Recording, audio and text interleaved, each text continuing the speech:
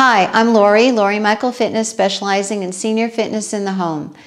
Over the next couple of months is going to be a series of exercises with the help of my friend Kim, who is going to be filming, on different planes of motion for our shoulders. So what does that mean in English? It means different directions that mimic life.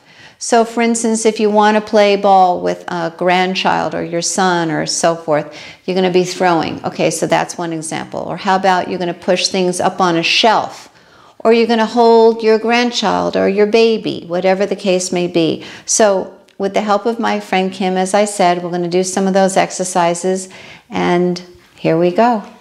Okay, we're going to start with motion in what we call the sagittal plane. That's motion forward and back from your torso.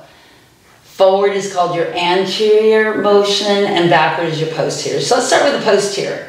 Lori's going to grab a light weight She's going to use a counter, in this case a bar, but bathroom, kitchen, just a countertop.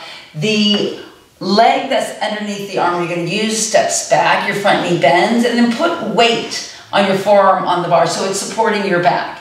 The arm hangs straight down. You're just going to lift gently back and forward. So again, that's moving sagittal plane, posterior. It's the posterior motion, that backward motion that we're working as you lift against gravity, strengthening the back of your shoulder. A very similar exercise in the same position. Lori's going to pick up a slightly heavier weight and resume the position. This time you're going to start with a straight arm down and you're going to bend your elbow, lifting, and back down. So we can go with a heavier weight because the elbow is bending.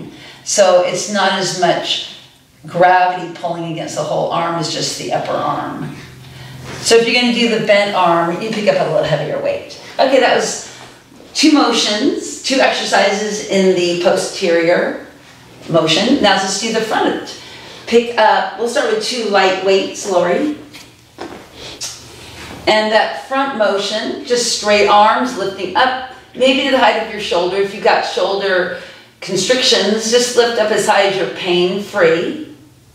See that one more time. These exercises, three sets of 10, three sets of eight. Now, a very similar motion of the shoulder, picking up um, heavier weight because you're going to be doing the same thing where you're going from a bent arm to a straight arm. Going to bring your arms right in front of your shoulders, parallel arms, bend your elbows and then push straight up and down. So it's basically the same motion in the shoulder.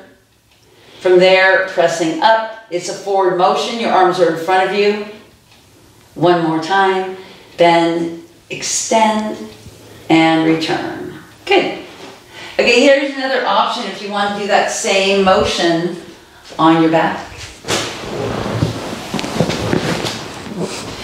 This direction, you're moving directly against gravity. So it might seem a little bit heavier, but the same movement Lori's just doing standing up, you're lying on a couch, on a bed, and just pressing straight up.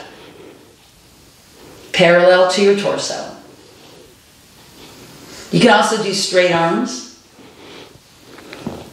Arms come down. And it's going to be pretty heavy so only come up as far as you can handle and back down. There you go. You get to use your core a little bit too, but that's another subject for another day. Thanks, Kim. Thanks, everybody. And please remember, sign up for my newsletter. Check me out on YouTube, and I will see you soon.